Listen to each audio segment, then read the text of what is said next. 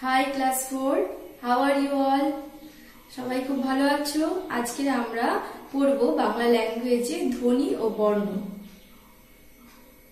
আগের ক্লাসে আমরা কোন চ্যাপ্টার পড়েছিলাম মনে আছে তোমাদের? বলতে পারবে? ভাষা ও ব্যাকরণ, তাই তো? তাহলে আমি আগের ক্লাসে বলেছিলাম ভাষা। তাহলে তোমরা কি বল- বলতে পারবে? ভাষা কাকে বলে?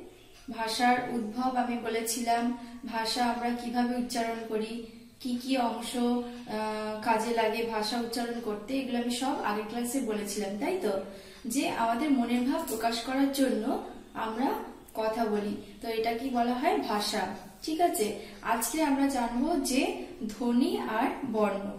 আমরা জানি যে আগে প্রাচীনকালে মানুষ কথা বলতে পারতো না এবং তারা ইশারার মাধ্যমে কথা বলতো। কিন্তু তারা বুঝতে পারল যে একে অপরের সঙ্গে ভাবের আদান প্রদান করার জন্য শুধু ইশারাই যথেষ্ট নয়। তারপরে তারা গাছের ছাল এবং বিভিন্ন গুহার উপরে তারা লিপির আবিষ্কার করল। লিপির মাধ্যমে তারা সাংকেতিক চিহ্ন দিয়ে তারা ভাষার আবিষ্কার করল। তো আমরা জানি যে আমাদের কথা বলতে হয় এবং কথা বলার মধ্যে দিয়ে আমরা একে অপরের মনের ভাব বুঝতে পারি। এই যে আমরা কথা বলি, এই কথা বলার সময় যে ছোট ছোট শব্দ আমরা ব্যবহার করে থাকি, যে ছোট ছোট শব্দ আমরা উচ্চারণ করি বা আওয়াজ করি তাকে বলা হয় ধ্বনি। ঠিক আছে? তাহলে ধ্বনি কাকে বলে? আমরা কথা বলার সময় আমাদের মুখের মধ্যে দিয়ে যে ছোট ছোট আওয়াজ বের হয়, সেই ছোট ছোট আওয়াজগুলোকেই বলা হয় কি? ধ্বনি।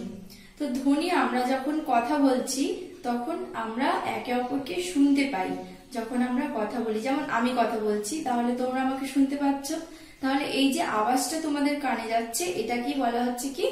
ধ্বনি। ধ্বনিকে লেখা যায় না। যখন আমরা কথাটাকে লেখার মাধ্যমে প্রকাশ করি, তখন তাকে বলা হয় কি? বর্ণ। তাহলে ধ্বনি, এই ধ্বনিকে আবার দুটো ভাগে ভাগ করা যায়। কটি ভাগে ভাগ করা যায়? দুটো ভাগে। একটা হলো স্বরধ্বনি আর একটা হলো ব্যঞ্জন ধ্বনি যেন মনে হচ্ছে শুনেছি, তাই না? স্বরবর্ণ আর ব্যঞ্জন বর্ণ আসলে যেটা আমরা লেখার মাধ্যমে প্রকাশ করি, সেই, সেগুলোকে বলা হয় কি? বর্ণ। আর এখানে আমরা বলছি, তাহলে যেগুলো আমরা উচ্চারণ করছি, সেগুলোকে বলা হচ্ছে কি? ধ্বনি। আর ধ্বনিকে আমরা স্বরধ্বনি ব্যঞ্জন ধ্বনি এই দুটো ভাগে ভাগ করে থাকি। তাহলে স্বরধ্বনি কোনগুলো? না, যেগুলো অ, আ রস্বই দীর্ঘই যেগুলো আমরা পড়েছি, সেগুলোকেই বলা হয় স্বরধ্বনি। কিন্তু এই স্বরধ্বনির মধ্যে কতগুলো মৌলিক স্বরধ্বনি আছে? তার আগে আমি বলে দিই, স্বরধ্বনি সংজ্ঞা। স্বরধ্বনি কাকে বলে? স্বরধ্বনি হলো যে ধ্বনি উচ্চারণের সময় অন্য কোনো ধ্বনির সাহায্য নেয় না। অন্য কোনো ধ্বনির সাহায্য ছাড়াই সরাসরি উচ্চারিত হয়, তাকে বলা হয় স্বরধ্বনি। ঠিক আছে? আর স্বরধ্বনিকে দুটো ভাগে ভাগ করা যায়। একটা হলো মৌলিক স্বরধ্বনি, আর একটা হলো যৌগিক স্বরধ্বনি। মৌলিক স্বরধ্বনি কোনগুলো? যেগুলো একেবারেই কোনো অন্য কোনো স্বরধ্বনির যোগাযোগ ছাড়াই উচ্চারিত হয়। যেমন অ রস্বই রস্ব এ ও, এগুলো তোমরা উচ্চারণ করো। অ রস্বই রস্ব আ, এ এ ও, এগুলোর মধ্যে অন্য স্বরধ্বনির কিন্তু যোগ নেই। কিন্তু যৌগিক স্বরধ্বনি কি? যৌগিক মানে যোগ আছে। যেমন যৌগিক স্বরধ্বনি হলো স্বরবর্ণের মধ্যে যে দুটো স্বরবর্ণ আমরা পাই ওই আর ও দেখো তোমরা নিজেরাই উচ্চারণ করো ওই তাহলে ওইতে কি কি স্বরধ্বনি আমরা পাচ্ছি? ও আর ই। মিলে হচ্ছে ওই ও আর রস্বই এই দুটো মিলে হচ্ছে কি? ওই আর ও তাহলে কি কি আছে? ও এর মধ্যে ও আর রস্য, এই দুটো মিলে হচ্ছে কি? ও তাহলে এই যে ওই আর ও, এই দুটোকে বলা হয় যৌগিক স্বরধ্বনি। তাহলে স্বরধ্বনি কয় প্রকার? দু প্রকার। এক নম্বর হচ্ছে মৌলিক স্বরধ্বনি আর দু নম্বর হলো যৌগিক স্বরধ্বনি। তাহলে এগুলো গেল স্বরধ্বনি। এবার ব্যঞ্জন ধ্বনি ব্যঞ্জন ধ্বনি হলো যেগুলো ক, খ, গ, ঘ, এগুলোকেই বলা হয় কি? ব্যঞ্জন ধ্বনি কিন্তু এর মধ্যে কয়েকটা বর্ণ আছে যেগুলো আমরা মুখে সরাসরি উচ্চারণ করি না। তো সেগুলোকে ব্যঞ্জন ধ্বনির মধ্যে ধরা হয় না। যেগুলো আমরা স্পষ্ট মুখের মধ্যে উচ্চারণ করি, সেইগুলোকে বলা হচ্ছে কি ব্যঞ্জন ধ্বনি তো আমরা ব্যঞ্জন ধ্বনি কাকে বলি? যে যে ধ্বনিগুলো উচ্চারণের জন্য স্বরধ্বনির সাহায্য নিয়ে থাকে বা যে ধ্বনি উচ্চারণের জন্য অন্য কোনো ধ্বনির সাহায্য ছাড়া উচ্চারিত করা যায় না, তাকে বলা হয় কি ব্যঞ্জন ধ্বনি ঠিক আছে? তাহলে আমরা উদাহরণের সাহায্যে দেখে নিই ধ্বনি কোনগুলো, ধ্বনি কাকে বলে এবং বর্ণ কি, সেটা আমরা আরেকবার দেখি, ঠিক আছে? তাহলে দেখো এখানে সবাই। এখানে বলছে ধ্বনি। মানুষের মুখের উচ্চারিত শব্দের ক্ষুদ্রতম মানে সব থেকে ছোট অংশকে ধ্বনি বলে, ঠিক আছে? তারপর দেখো তাহলে বর্ণ কি? এই যে ধ্বনি, আমরা মুখে যেটা উচ্চারণ করছি যে শব্দ ছোট ছোট অংশ শব্দের, সেই ধ্বনির লিখিত রূপকেই বলে বর্ণ। অর্থাৎ আমরা এই ধ্বনিকে যখন লিখছি চিহ্নের মাধ্যমে, এই চিহ্ন যে বিশেষ চিহ্নের মাধ্যমে আমরা লিখে প্রকাশ করি, সেই চিহ্নকেই বলা হয় কি? বর্ণ। ঠিক আছে? তাহলে এবার দেখো, আমি একটা উদাহরণ এখানে দিয়েছি। হুম? যদি আমি বলি আপেল আপেল আমি বললাম। যদি আমি বলি কি? আপেল। তাহলে এই যে আপেল আমি লিখলাম, এর মধ্যে কটা বর্ণ আমরা দেখতে পাচ্ছি? তিনটে বর্ণ, তাই তো? একটা, দুটো, তিনটে বর্ণ আমরা দেখতে পাচ্ছি। তাহলে একে বলে তিনটে বর্ণের শব্দ। কিন্তু আমি যখন বলছি আপেল, কথাটি বলছি, তখন আপেল শব্দের মধ্যে কিন্তু অনেকগুলো ধ্বনি মিলে আছে। তাহলে কি করে বুঝব যে কি কি ধ্বনি ওর মধ্যে আছে? দেখো, আমি এটাকে ভেঙেছি। আ, প্রথমে আ, ঠিক আছে? যোগ প, দেখো প আছে, আগে পে, তাহলে প আগে উচ্চারণ হচ্ছে, তারপরে এ। তাহলে প আগে দিলাম, যোগ এ। এ থেকে এসছে কিন্তু একার। আমরা আগের ক্লাসে শিখেছি যে স্বরবর্ণ থেকে কিন্তু আমরা মাত্রা পাই। তাহলে আমরা এখানে স্বরবর্ণ, কোন স্বরবর্ণ থেকে একার পাচ্ছি? এ থেকে। তাহলে আমরা আপেলে আ যোগ প যোগ এ, আপে আর লাস্টে আছে কি? ল। তাহলে যোগ ল। কটা তাহলে আমরা ধ্বনি এখানে পাচ্ছি? দেখো এখানে কাউন্ট করে এক, দুই, তিন, চার। চারটি ধ্বনি আমরা এই আপেল শব্দের উচ্চারণের মধ্যে আমরা কটা ধ্বনি পাচ্ছি? চারটে ধ্বনি পাচ্ছি, ঠিক আছে? তাহলে আর একটা আমরা উদাহরণ দেখি, দেখো। কাকাতুয়া। কি লেখা আছে এখানে? কাকাতুয়া। তাহলে কাকাতুয়ার মধ্যে এবার আমরা কটা ধ্বনি পাই উচ্চারণ করলে? সেটাও দেখো আমি ভেঙেছি এখানে, দেখতে পারো। ক, হুম, ক যোগ আ, কা, ক যোগ আ, কা কাকা ত যোগ রস্য। নিচে রস্যকার আছে? তাহলে রস্য যোগ উনতেস্ত, যোগ আ। উনতেস্তয় আকার আছে। তাহলে আকার কোন বর্ণ থেকে এসছে? আ থেকে, ঠিক আছে? তাহলে ক আ, কা, ক, যোগ আ, কা কাকা ত, যোগ রস্য তু, যোগ উনতেস্ত যোগ আ, ঠিক আছে?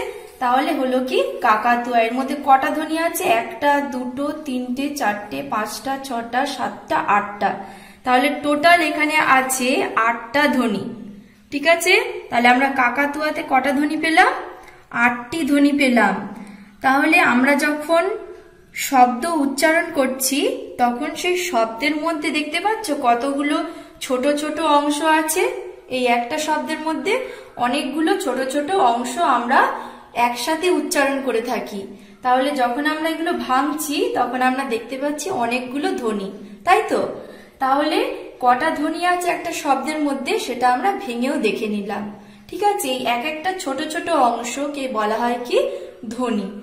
তাহলে ধ্বনিকে কয় ভাগে ভাগ করা হয় দেখো? ধ্বনিকে দুই ভাগে ভাগ করা হয়। একটা হলো স্বরধ্বনি যেটা আমি তোমাদের বললাম, আর আরেকটা হলো ব্যঞ্জন ধ্বনি কি কি বললাম তোমরা বলো? স্বরধ্বনি আর ব্যঞ্জন ধ্বনি ঠিক আছে? তাহলে এইবার আমরা দেখব স্বরধ্বনি কাকে বলে তার উদাহরণ, যেগুলো আমি বললাম, আর ব্যঞ্জন ধ্বনি কাকে বলে আর কোনগুলো, ঠিক আছে? আমরা দেখে নিই তাহলে। তাহলে দেখো স্বরধ্বনি কাকে বলে?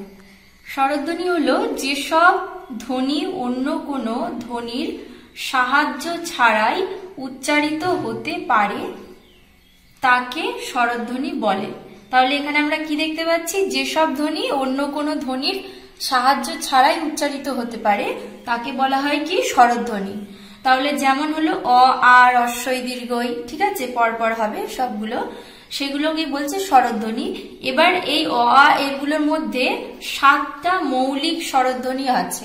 কটা মৌলিক স্বরধ্বনি? সাতটি। কি কি সেগুলো? সেগুলো হলো অ, আ, রস্যই, রস্য, এ এ, ও। এগুলো তোমরা পড়ে নিজেরা উচ্চারণ করো। করে দেখবে যে এইগুলোর মধ্যে কিন্তু অন্য কোনো স্বরধ্বনির উচ্চারণ নেই। একটাই স্বরধ্বনি আমরা সরাসরি উচ্চারণ করছি। একে বলছি কি? মৌলিক স্বরধ্বনি তারপরে দেখো দুটি যৌগিক স্বরধ্বনি আছে। যৌগিক স্বরধ্বনি কোন দুটো? ওই আর ও ঠিক আছে? কেন? এর মধ্যে দেখো দুটো স্বরধ্বনি যোগ আছে। যখন বলছি ওই, তার মধ্যে ও আছে আর রস্যই আছে। তাহলে দুটো স্বরধ্বনির যোগ হচ্ছে যখন, তখন আমরা বলছি যৌগিক স্বরধ্বনি ঠিক আছে? তাহলে পরেরটাই যাই দেখো। দুটি ভাগ, একটা পড়লাম স্বরধ্বনি এবার একটা পড়ছি ব্যঞ্জনধ্বনি। ব্যঞ্জনধ্বনি কাকে বলে দেখো? যেসব ধ্বনি স্বরধ্বনির সাহায্য ছাড়া উচ্চারিত হতে পারে না, যেসব ধ্বনি স্বরধ্বনির সাহায্য ছাড়া উচ্চারিত হতে পারে না, তাকে বলা হয় কি? ব্যঞ্জন ধ্বনি ঠিক আছে? তাহলে ব্যঞ্জন ধ্বনি সেগুলো, যেগুলো ব্যঞ্জন বর্ণ আমরা পড়েছি, ক, খ, গ, ঘ, এগুলো আমরা উচ্চারণ করি, এগুলো হলো ব্যঞ্জন ধ্বনি আর যেমন, কি বলেছি স্বরধ্বনির সাহায্য ছাড়া উচ্চারিত হতে পারে না।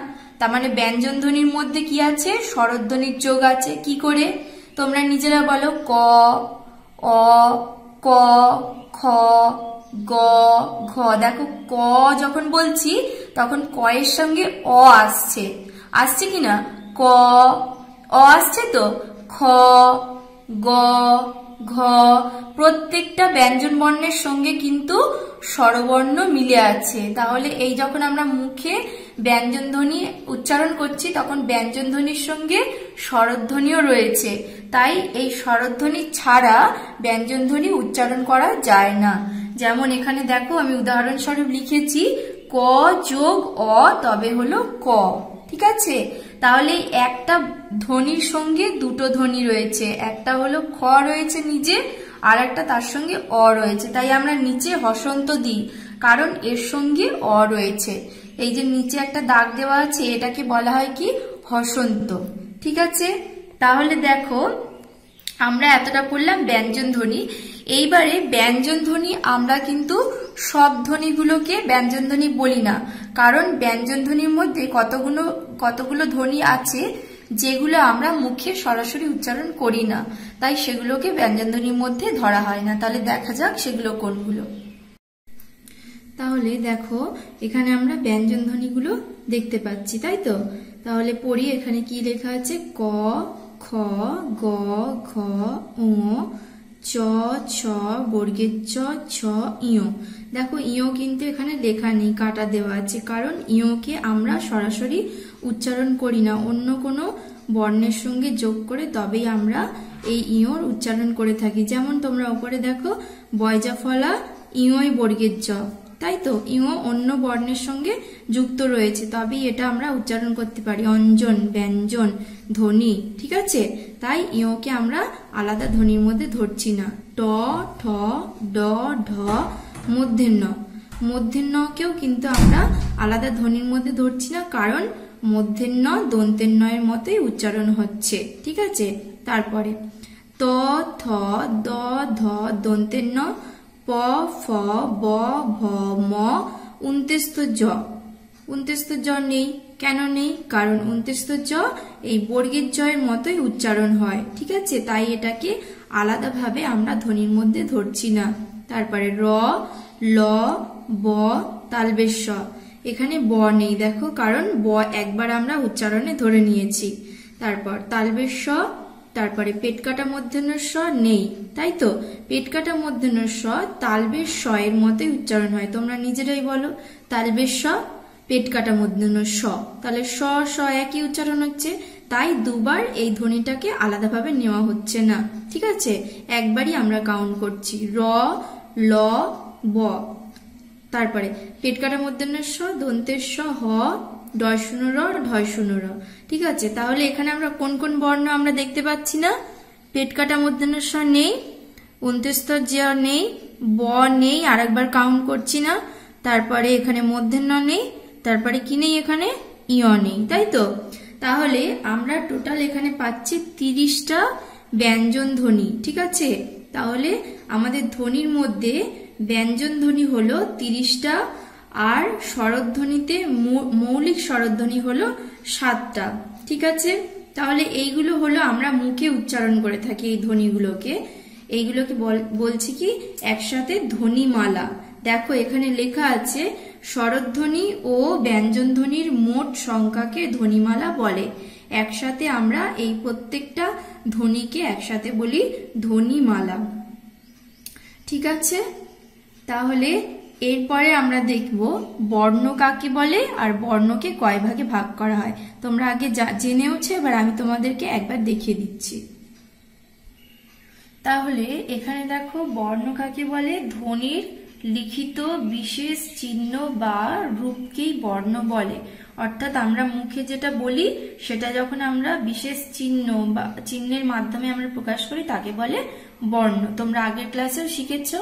তাহলে বর্ণকে দুই ভাগে ভাগ করা যায়, স্বরবর্ণ আর ব্যঞ্জন বর্ণ স্বরবর্ণে মোট স্বরবর্ণ কটা আছে যেটা আমরা লিখি?